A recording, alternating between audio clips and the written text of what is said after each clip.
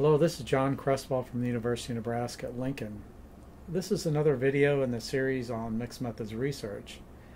And today I want to talk especially about evaluating the quality of a mixed methods project.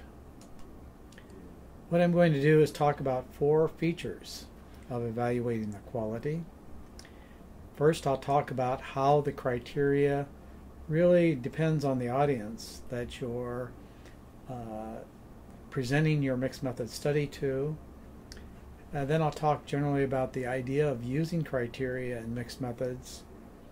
I'll set forth some specific criteria that's being used now in the mixed methods research field. And I'll be talking about uh, the latest development in the health sciences where the National Institutes of Health has now come forward with some best practice recommendations. When we think about the quality of research, it really depends on the particular outlet, the audience that will be evaluating the research. We know that journals often set forth a criteria for how reviewers should review manuscripts for publication. We know that graduate faculty and faculty in colleges and universities often have their own criteria for what they would feel constitutes a good research project. Funding agencies have review criteria both for submitting an application for funding as well as reviewing a, an application. And even book companies uh, look at proposals for new books using a set of quality criteria. So all of these different standards would apply not only to any publication that is going forward, but also to mixed methods research. The question often comes why should we have, or should we even have, uh, standards in mixed methods research? And I want to review a few of the pros and cons on both sides of this, this picture. First, those arguments for having standards well, we do know that reviewers that review journal articles need some standards, and often there's a large collection of reviewers uh, that are available to review manuscripts that come into journals. And so editors feel that there needs to be some standard that all of these reviewers might use as they assess manuscripts, so that there's some high quality assessment going on for all the reviews. We also know that faculty committees often bring in standards for what they they feel should be a good doctoral dissertation or a master's thesis or a research report. In fact, it's not unusual for a faculty member to hand a copy of their favorite dissertation to a new doctoral student to see how the project needs to be laid out. We also know that funding agencies like standards and especially the federal agencies that are reviewing applications. Uh, so, NIH, the National Science Foundation, the Institute for Educational Sciences, all of these have some standards that they use in reviewing projects being proposed for funding. We know that in the health sciences, the use of standards or set procedures is pervasive uh, the protocol for how to deal with a patient disease, the protocol that goes on in a hospital setting that needs to be followed. So it's not unusual to have standards and protocols and checklists available in the health sciences. In a group that I think particularly profits from having standards of quality would be beginning researchers. They often want to know how do I do this research and what's the best way I can do it and so they'll be calling for more and more standard procedures for how to do mixed methods research. On the other side, the cons, the areas where there's some question about whether standards are valuable. One of the issues that often people raise is who decides what the standards are going to be? Because that gives tremendous power to those that are actually creating the standards and whether they're qualified to create those standards. Furthermore, some people would argue that standards tend to limit what can be done with the methodology, limit creativity. limit innovative new ideas because people are responding to specific standards. I would have to say the group that dislikes standards too uh, would be more experienced researchers. They know the basics, they know what's expected. Now they want to be creative and innovative in their research, and so they're less likely to embrace standards.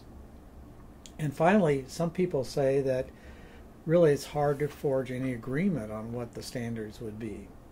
For example, in a leading article in the mixed methods field by Johnson and Onwuegbuzie and Turner, they talked about how there were 19 different mixed methods writers asked for their definition of mixed methods research. And they came up with a very diverse set of even definitions of what this methodology is all about.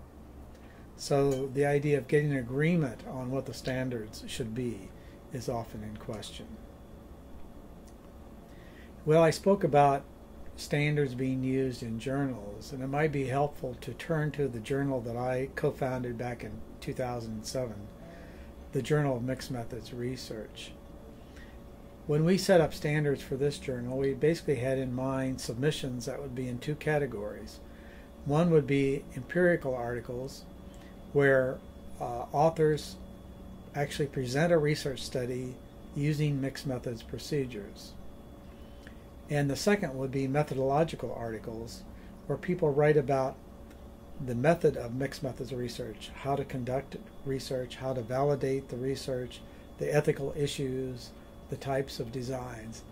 And so this page setting forth the basic criteria uh, in terms of these two types of manuscripts that were reviewed can be seen. In the empirical side, uh, we, we asked that the manuscript fit a basic definition of mixed methods research, integrate the two databases, and talk about how it would add to the literature. In terms of the methodological articles, it needed to address an important topic, uh, adequately incorporate the literature, and actually contribute to advancing the field of mixed methods research.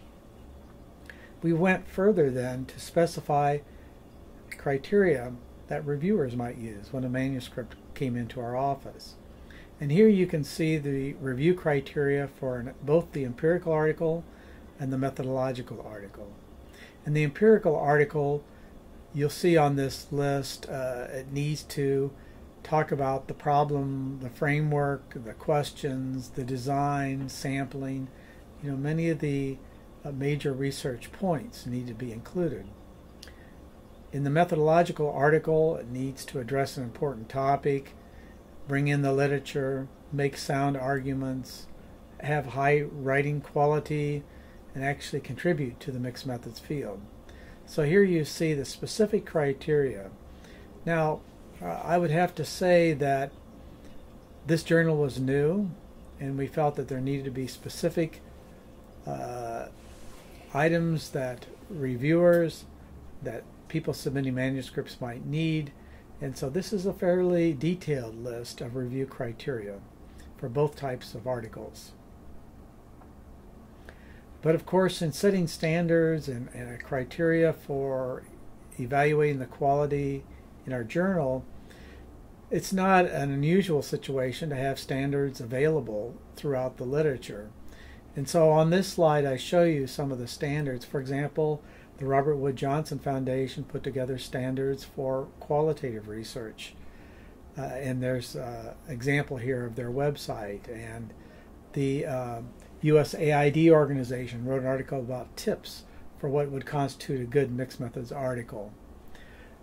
The National Science Foundation uh, put out in 2002 a user friendly handbook on evaluation and in there you have a rather substantial section on the quality criteria for mixed methods research. Specific fields are developing standards for mixed methods, such as this one article you see in the middle on medical education. And then different funding agencies are coming up with standards, such as workshops on interdisciplinary research in uh, different fields, such as social work, and in uh, dissemination implementation studies, So at these workshops, people are advancing what they feel are quality indicators for mixed methods research. I might mention that while I served as editor of the co-editor of the journal Mixed Methods Research, I probably looked through over 300 mixed methods manuscripts that came across my desk. And so I thought I would talk about what I personally looked for in these mixed method studies that would make them high quality. I wanted a research I wanted a study that addressed a research problem where it was important to gather both quantitative and qualitative data to address this problem.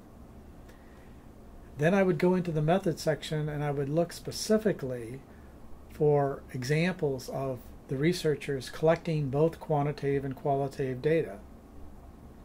I would look throughout the manuscript to see how they were actually integrating the two databases. I would want the study to be rigorous, both on the quantitative methods and the qualitative methods. And I wanted them to think about, or at least raise the possibility, of their procedures fitting within one of the mixed methods design, so whether it was a basic design or a more advanced design. And then finally, I wanted to find out if the authors mentioned recent mixed methods literature, some of the latest books, some of the latest articles. So I would turn to the reference list at the end of their article to see if I saw any of these. Now, the federal government has been interested in mixed methods research. That example of the National Science Foundation is a good illustration. Their standards on evaluation and their inclusion of a section on mixed methods research. Back in 1999, the National Institutes of Health actually came up with some guidelines for qualitative methods in health research. This was put together by a panel of researchers. If you look closely at this 1999 guideline, you will see a section on what they called combining quantitative and qualitative research. So they started this process of developing recommendations for how to do mixed methods research in 1999. In 2010, the National Institute of Health, specifically the Office of Behavioral and Social Science Research, and here you can see uh, their website pay, main page. They commissioned a group, and there were 18 of us to work on what's been called the best practices for mixed methods research in the health sciences. This was a group that, that operated for about a year working on these recommendations. It was made up of project officers from NIH. Uh, it was made up of mixed methods researchers, it was made up of administrators from the Office of Behavioral and Social Science Research. And we met during the year and actually came up with some guidelines for conducting mixed methods research. It was called Best Practices. And uh, as you can see in this outline of the table of contents, it began with first a discussion about what is mixed methods research and why is it needed in the health sciences. And then it moved into more specific topics such as how to write an application for an R award or a K award or a Center Grant award and how researchers might tailor their application to include good mixed methods features. And towards the end of this report, there's a checklist I'm going to show you here in a minute that talks about the criteria that evaluators might use as they assess applications that include mixed methods research. So this report was first developed in hard copy and then it went up on a website in August of 2011 and it's been one of the most heavily hit websites in the Office of Behavioral and Social Science Research history. So there's been quite a bit of interest interest shown in this and it's spawned several workshops at NIH to follow up on this. So I'm going to show you the table that's specifically from this website, this document. This is a table of the review criteria that a person would use to review an application for funding at NIH. And so the topics that one would consider in their review would be the significance, the role of the investigators, the innovativeness of the study, the approach used by the researchers, and the environment in which the potential funding might be given to. What's interesting about this list, if you look closely, this is uh, a list of criteria that might be used as a checklist that incorporates some of the major features of mixed methods research. For example, the rationale for multiple perspectives. What are the mixed methods skills, both quantitative and qualitative, of the investigators? The leadership for the project, and whether this person has a wide skill set and knows how to lead a meeting where there might be people of different methodological persuasions. Uh, how collaboration exists among members of a team doing research, what the advantages of mixed methods research might be, and why integration is important.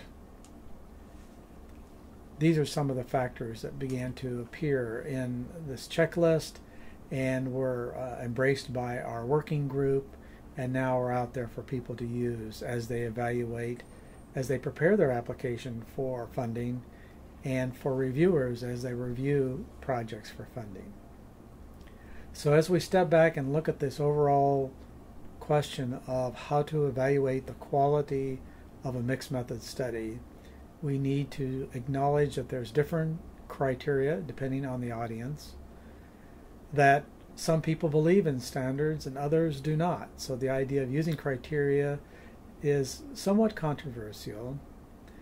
We also need to see that there has been some criteria emerge in mixed methods research through publications, through journal articles, through workshops, and that now the federal government has gotten involved in setting forth major quality criteria in the new best practices for mixed methods in health sciences uh, website and document that sets forth what these practices might be. Thank you.